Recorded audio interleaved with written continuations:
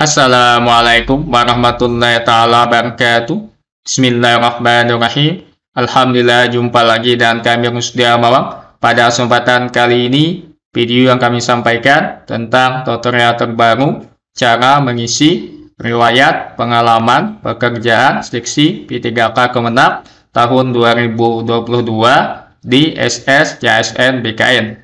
Untuk format dan surat lainnya, teman-teman bisa di-download di bawah deskripsi video ini. Kami cantumkan linknya melalui media fair. Untuk persyaratan umum terkait masalah pengalaman pekerjaan ini sesuai dengan surat pengumuman yang ada dari Kementerian Agama. Di sini persyaratannya wajib memiliki pengalaman di bidang kerja yang relevan, artinya linear atau sesuai dengan jabatan fungsional yang dilamar atau dipilih.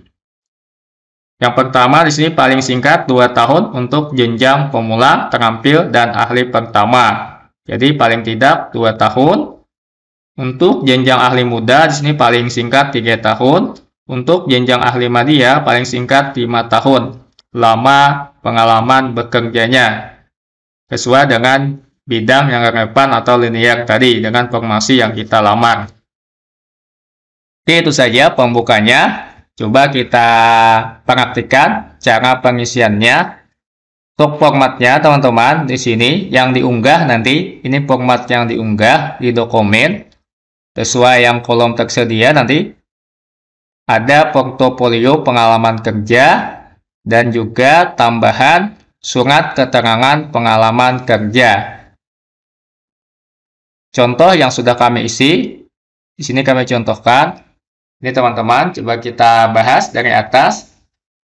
Mulai identitas diri. Identitas diri ini, nick, sudah jelas teman-teman. Nama sudah jelas. Tempat atau tanggal lahir sudah jelas. Email sudah jelas juga. Isiannya, email yang aktif, nomor telepon atau HP sudah jelas. Di sini, pengopel pekerjaan saat ini terakhir bekerja. Ini sambil kita buka juga ke SS, CSN, BKN-nya. Karena isiannya sama, kami kita buka teman-teman. Ini sudah kami buka di forum atau menu riwayat. Nama pekerjaan silahkan disesuaikan di sini. Nama pekerjaannya bisa kami guru tetap, guru tidak tetap atau GTT mata pelajaran apa. Misal mata pelajaran matematika untuk lebih spesifik ke bidangnya. Jadi nanti sesuai tadi formasi yang ingin kita lamar atau kita pilih apa. Unit kerja di sini, unit kerja di sini penjelasannya teman-teman, kita coba buka. Pengupaya bagian saat ini terakhir bekerja, artinya di sini untuk unit kerja yang terakhir bekerja teman-teman. Jadi kami terakhir di sini bekerja di MTSN 1 Sungai Selatan yang sampai saat ini atau yang terakhir bekerja tadi di MTSN 1 Sungai Selatan kerjanya. Jadi diisikan di sini MTSN 1 Hulu Sungai Selatan.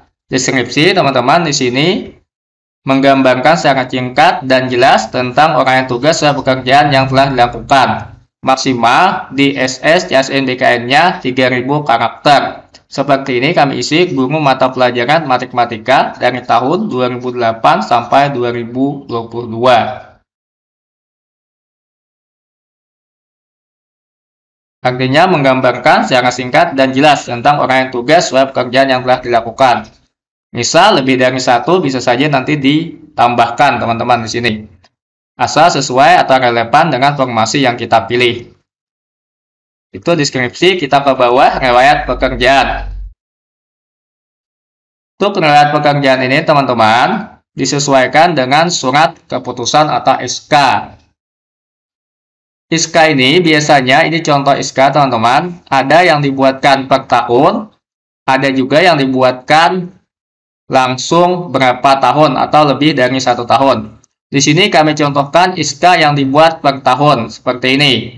Terhitung mulai tanggal 1 Januari sampai dengan 31 Desember 2022. Ini per tahun kami contohkan teman-teman. Nomor SK-nya di bagian atas. Jadi yang di sini yang kami contohkan ISKA per tahun. Nanti teman-teman, jika ISKA-nya dibuat bukan per tahun, silahkan disesuaikan saja TMT-nya mulai dari apa.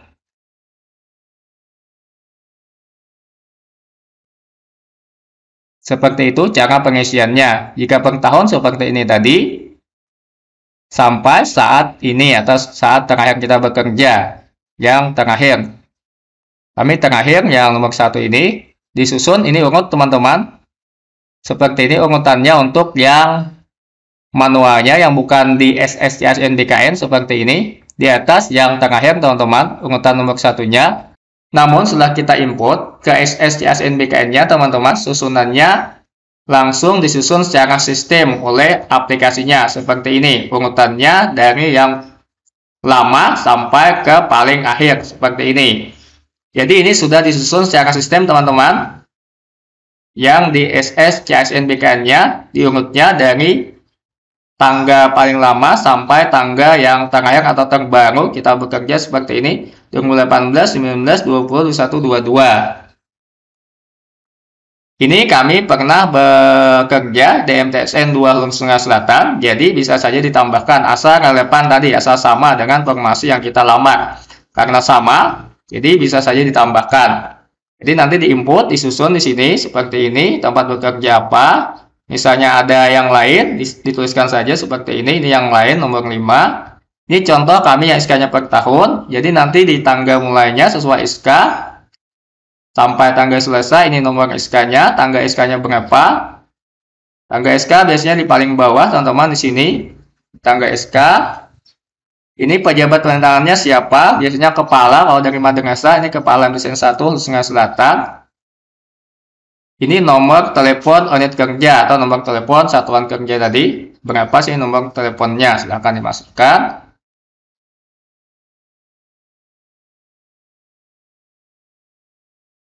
Oke, kita lanjutkan teman-teman.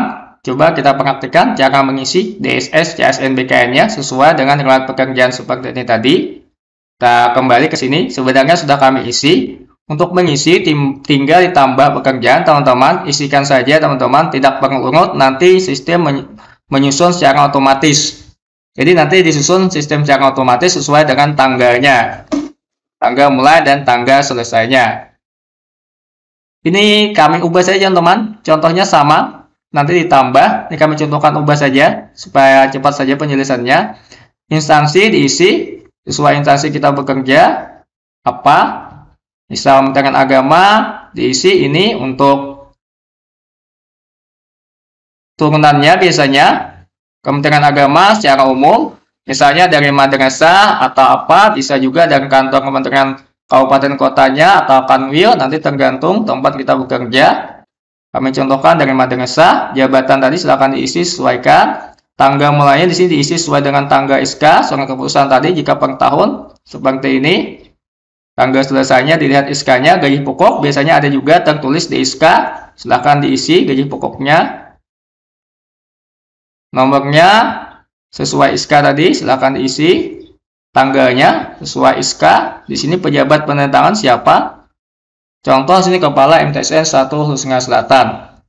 Ini SK yang pertama teman-teman disesuaikan saja dengan SK-nya.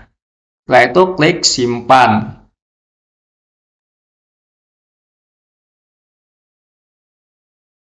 Mudah saja teman-teman, seperti itu cara pengisiannya. Nanti setelah selesai mengisi ini, untuk di unggahan, coba kita lihat dokumennya, ke bagian dokumen.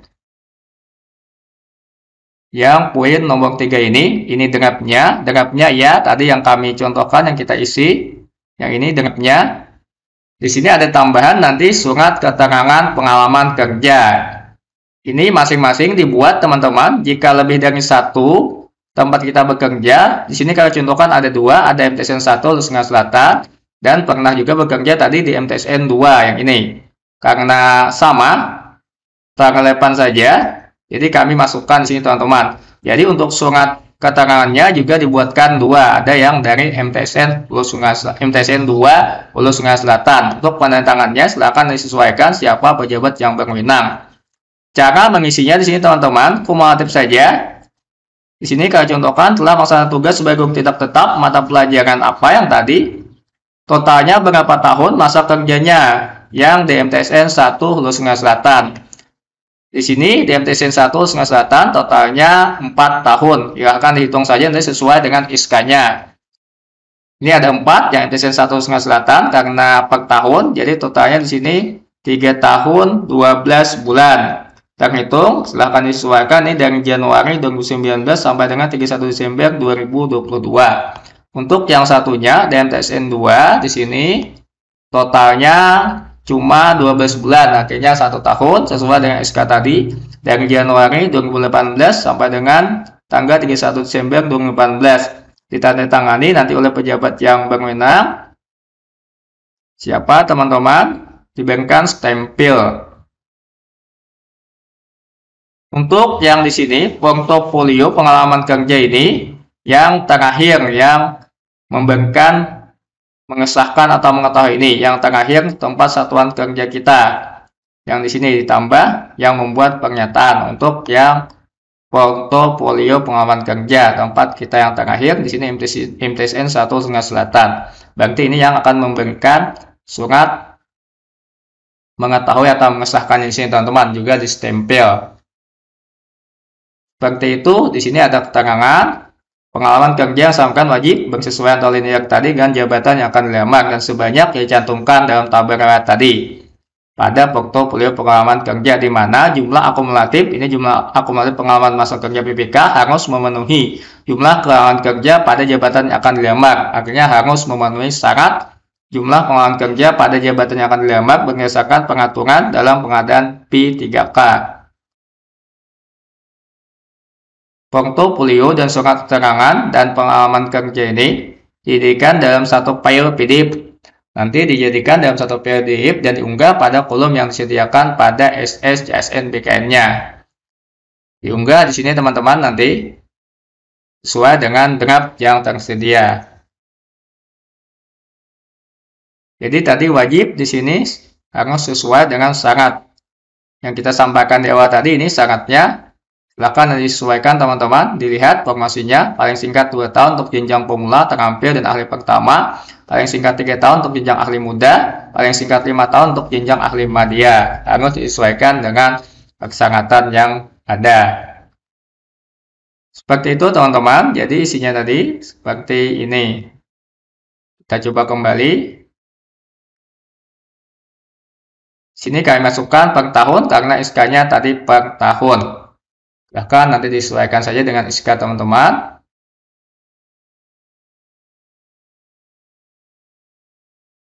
Untuk masalah di sini tadi sudah tersusun secara sistem teman-teman sesuai dengan tanggal yang kita masukkan, tanggal mulai dan tanggal selesainya. Untuk formulirnya yang manualnya tadi diisi secara urut dari yang terakhir atau sampai saat ini sampai yang riwayat lama teman-teman sampai yang terdahulu dari yang paling paling baru terus ke bawah sampai yang terakhir yang lama di sini. Oke, ini saya kami sampaikan pada kesempatan video kali ini. Mohon maaf jika ada penjelasan yang salah atau kurang tepat. Untuk lebih jelas dan tepatnya silahkan tanyakan pada pihak terkait, panitia penyelenggara seleksi PTK Kemenang, baik di daerah kabupaten kota atau yang lainnya. Semoga manfaatnya akhir kata bila taufik wa Assalamualaikum warahmatullahi taala wabarakatuh.